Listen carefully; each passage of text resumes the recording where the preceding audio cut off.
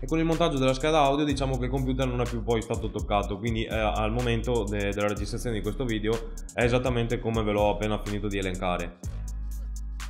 Purtroppo però mi sono reso conto che una volta assemblato il computer mi mancava un monitor per farmi una terza postazione. Per cui in quel momento mi sono rivolto ad un mio vecchio amico eh, che mi ha venduto un, un, monitor che lui non utilizzava più, è un Asus da 19 pollici modello VK193D, è un monitor con degli ottimi colori, eh, ovviamente non aspettatevi tecnologie IPS, Quantum Dot e via dicendo, ed ha una risoluzione di 1440x900. Una volta ottenuto tutto il materiale per la postazione mi sono andato a procurare una scrivania ovviamente perché altrimenti avrei dovuto mettere il computer per terra.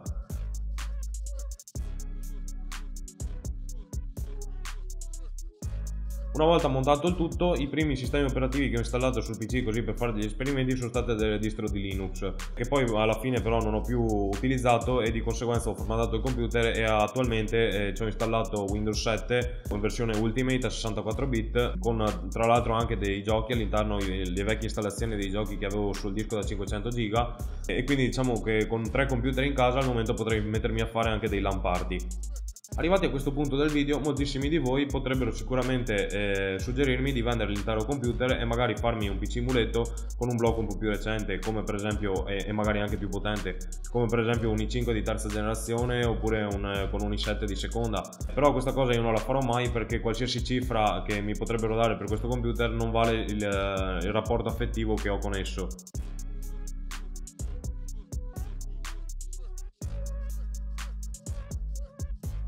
Diciamo che è una sorta di primo amore che non si scorda mai.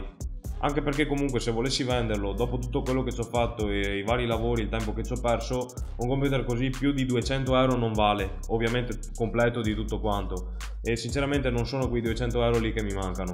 Inoltre come se non bastasse eh, questo computer avendo la scheda madre che ha il socket LG A775 in futuro ho intenzione di portarvi alcuni video interessanti su retro hardware, eh, su alcune modifiche o alcuni esperimenti da fare che sicuramente magari alcuni di voi non, non, magari non conoscono e quindi vi potrebbe interessare. Per cui questo è un motivo in più che mi spinge a non vendere il mio computer. E come ultima ragione della mia scelta di tenermelo è il fatto che comunque nonostante sia un computer che ha circa 10 anni è veramente ancora una scheggia cioè con l'SSD e con Windows 7 aggiornato all'ultima versione e tutto quanto ehm, cioè va veramente benissimo si accende in pochissimo tempo si spegne in pochissimo tempo i, programmi li avvia in maniera fulminea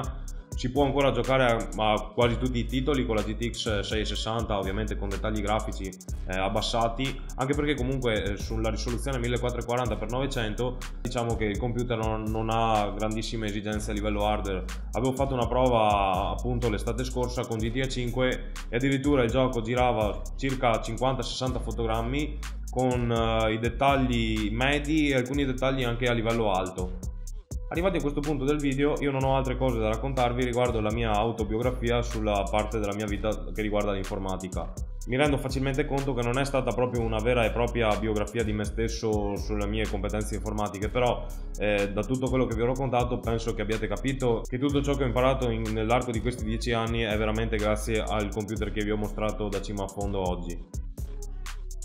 Bene ragazzi, anche per oggi siamo giunti al termine. Se questo video vi è piaciuto vi invito a lasciare un bel like e ad iscrivervi al mio canale spuntando la campanella delle notifiche per ricevere gli aggiornamenti ogni qualvolta caricherò nuovi contenuti. Per oggi è tutto e noi ci becchiamo al prossimo video.